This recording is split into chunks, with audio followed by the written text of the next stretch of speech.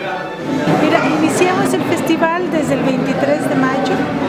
En 23 y 24 estuvimos en Poza Rica, Papantla y Espinal.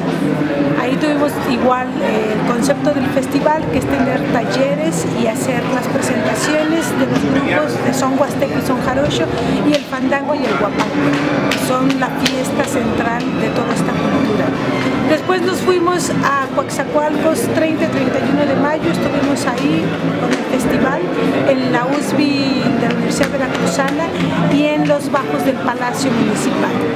Después nos fuimos a Veracruz, Boca del Río y ahí estuvimos el 6, 7 y 8 de junio también con, con mucho éxito tanto en la USB como en la Plaza Banderas del Ayuntamiento de Boca del Río y en la Casa de la Cultura. Y finalmente estamos terminando la última sede del festival que es aquí en Jalapa. Empezamos ayer a las 5 de la tarde y terminamos mañana en la, tarde-noche, estaremos clausurando el festival. Concebimos el son como una cultura que no es solamente la música, es la danza, es el textil, es la gastronomía, eh, es, es muchas cosas alrededor de una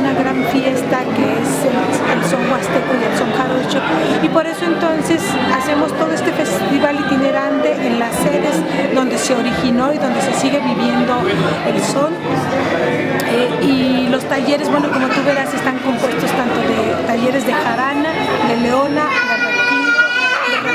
de, también de son huasteco, en las dos vertientes siempre de zapateado, tenemos a Rubío Ceguera dando zapateado jarocho, también se ha, se ha dado zapateado huasteco, pero lo que nosotros tratamos es que la gente se vuelva a encontrar con una cultura que es propia, con una cultura que habla de su identidad.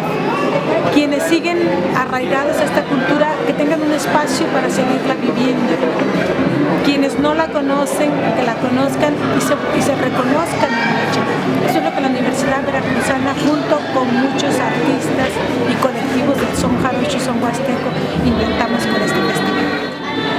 Además de Jalapa, en Coaxacualcos fue una respuesta maravillosa.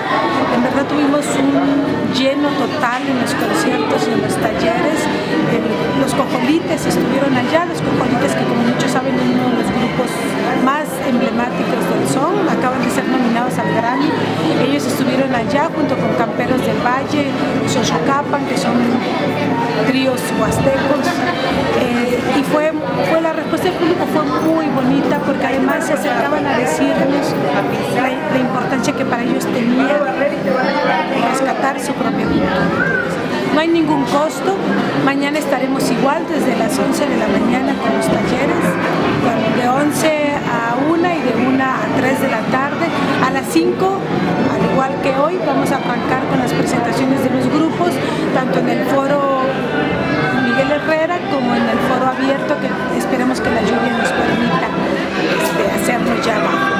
Bueno, la propuesta desde la Universidad Veracruzana es que continúe eh, este proyecto porque